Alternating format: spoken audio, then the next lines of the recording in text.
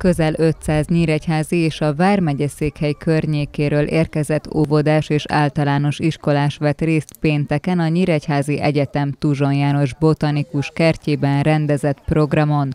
A Madarak és Fák napja alkalmából a Botanikus Kert, a Magyar Madártani és Természetvédelmi Egyesület, valamint a Nyírerdő ZRT Pál Miklós Erdészeti Erdei Iskola szervezte meg a már hagyományos rendezvényt. Ilyenkor rendszerint több állomáson várjuk a gyerekeket, a Madártani Egyesület, a Botanikus Kert és az erdészet dolgozói hatállomáson különböző témákkal foglalkoznak, madárgyűrűzés, madárodú készítés, ősonos fafajok és hasonló témákban. A nap folyamán a gyerekek megismerhették az alföldi erdőkben megtalálható fa és cserjefajokat, az erdészek munkáját és azt is kipróbálhatták, hogyan lehet madárodút készíteni. Előadásokat hallgathattak meg a tavaszi és nyári madárvédelemről, a madárodúkról, azok kihelyezéséről, kezeléséről, valamint a bennük költő fajokról. Botanikus kertben már több mint tíz éve rendezzük meg közösen a Madarak és Fák napját.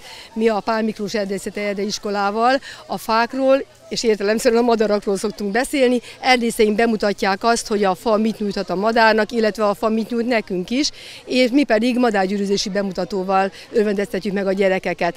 Ugye a madárgyűrűzés az nagyon fontos a vonuláskutatás szempontjából, de azért is nagyon jó, mert évről évre ebben az időszakban a botanikus kertben megjelenünk, és össze tudjuk hasonlítani az előző éveknek a fogásával, az eredményével a most fogott madarakat. Tehát látjuk azt, hogy valóban itt a botanikus kertben annyiféle fa van, annyi, ugye, mint itt ültetett fák vannak, hogy ez sokkal több táplálékot, búvóhelyet nyújt, fészkelőhelyet nyújt a madaraknak, sokkal gazdagabb a madárvilága, mint akár mellettünk a sóstói erdőnek. Tehát az ideális hely arra, hogy a gyerekeknek kézből is mutathassunk madarat, beszélhessünk egy kicsit a védelmükről, arról, hogy ugye itt odú készítés is folyik, arról, hogy hogyan tudjuk őket megtelepedésre bírni, télen nagyon fontos az itatás, nem elsősorban az etetés, tehát általában az erdővédelméről, az erdők felújításáról és a madarak védelméről van itt szó. A résztvevő 500 gyermek 24 csoportban érkezett a helyszínre, iskolások és óvodások egyaránt. Sokaknak a faültetés volt a rendezvény legizgalmasabb pillanata, de a madarakkal kapcsolatos bemutatókat is izgatottan figyelték.